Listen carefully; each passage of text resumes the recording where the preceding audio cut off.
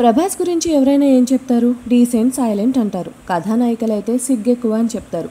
చాలామంది ప్రభాస్కి భలే మొహమాటమండి అనేస్తారు. ఈ మొహమాటమే ఇప్పుడు ప్రభాస్ కొంప ముంచుతోంది. అందులోనూ బాహుబలి విషయంలో. అవును బాహుబలి కోసం ప్రభాస్ చేసింది అంతా ఇంత కాదు. కానీ క్రెడిట్ మాత్రం రాజమౌళి ఖాతాలోకి పోతోంది. మిర్చి లాంటి పవర్ఫుల్ హిట్ తర్వాత ఏ కథానాయకుడు ఓ సినిమా కోసం మూడేళ్ళ సమయం వెచ్చించడు. ఎందుకంటే ఆ మూడేళ్ళలో ఆరు సినిమాలు చేసుకున్నా అటు ఆర్థికంగా ఇటు కెరియర్ పరంగా తిరుగులేని స్థాయికి చేరుకోవచ్చు. కానీ ఈ రెండింటిని ప్రభాస్ పక్కన పెట్టేసి బాహుబలి కోసం శ్రమించాడు. ఇప్పుడు అతని కష్టం ఫలించింది. సినిమా సంచలన విజయం సాధించింది. కానీ క్రెడిట్ మాత్రం రాజమౌళి ఖాతాలో చేరిపోతుందన్నది అతని అభిమానుల ఆవేదన. అది నిజమే. ప్రభాస్ కూడా ఈ సినిమా రాజమౌళి సినిమాగానే ప్రమోట్ చేయాలనుకున్నాడు. ఎక్కడా తన డబ్బా తాను కొట్టుకోలేదు. అంతా నేనే చేశా. ఈ సినిమా అంతా నా కష్టమే అని అస్సలు చెప్పుకోలేదు. రాజమౌళి పడిన కష్టం ముందు నాదెంత అన్నాడు. అందుకేనేమో ఇప్పుడు క్రెడిట్ కూడా పూర్తిగా రాజమౌళికే వెళ్ళిపోతుంది. ప్రభాస్కి ఈ సినిమా ద్వారా లభించిందేంటి? ఏం సాధించాడు? అంటే మాత్రం నిరాశాజనకమైన సమాధానాలే లభిస్తాయి. సినిమా మొత్తంలో ప్రభాస్ని ప్రభాస్ బాడీని అతని పెర్ఫార్మెన్స్ లెవెల్స్ని రాజమౌళి సరిగ్గా ఎన్హాన్స్ చేయలేకపోయాడన్న విమర్శ ఉంది. అది ప్రభాస్ అభిమానులు గుర్తించారు.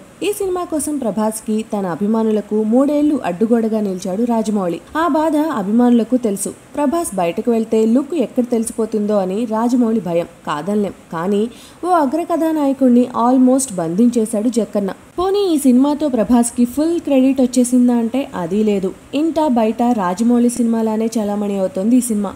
కథానాయకులు దర్శకులు నిర్మాతలు సినీ రాజకీయ సెలబ్రిటీలు చేసే వ్యాఖ్యల్లోనూ ప్రభాస్ పేరు లేనే లేదు. దానికి తోడు చిత్ర బృందం రాజమౌళి పిఆర్ వ్యవస్థ కూడా ఈ సినిమా క్రెడిట్ అంతా రాజమౌళికే చెందాలన్న తపనతో పనిచేస్తోంది. పోనీ పారితోషికమైన భారీగా ఇచ్చారా అంటే ఈ సినిమా కోసం ప్రభాస్ ఇరవై నాలుగు కోట్లు అందుకున్నాడనేది టాక్. మిర్చి సమయానికే ప్రభాస్ ఒక్కో సినిమాకి దాదాపుగా పది కోట్లు అందుకుంటున్నాడు. మూడేళ్ళలో ఆరు సినిమాలు చేస్తాడనుకుంటే అందుకు అతనికి అరవై కోట్లైనా దక్కుండేవి. అంటే పారితోషికం పరంగా కూడా ప్రభాస్కి హ్యాండ్ ఇచ్చినట్టే లెక్క. దానికి తోడు బాలీవుడ్లో ఈ సినిమా రాణా పేరుతో చలామణి అవుతోంది. రాజమౌళి కూడా ఇది రాణా సినిమాగానే అక్కడ ప్రమోట్ చేశాడు. దాంతో హిందీ సినిమాలోనూ ప్రభాస్ కష్టానికి తగిన గుర్తింపు లేకుండా చేశాడని అభిమానులు ఆవేదన చెందుతున్నారు. రాజమౌళి ఎవరితో సినిమా చేసినా క్రెడిట్ పూర్తిగా తన ఖాతాలోకి మళ్ళేలా జాగ్రత్త పడతాడని గత సినిమాలు రుజువు చేశాయి. అఫ్కోర్స్ రాజమౌళి కూడా తన సినిమాకు అలాగే సోలోగా కష్టపడేవాడు. కానీ బాహుబలి సోలో ఎఫెక్ట్ కాదు. అందులో అందరికీ వాటా ఉంది. ముఖ్యంగా ప్రభాస్ కష్టం కనిపిస్తోంది. ఇలాంటప్పుడు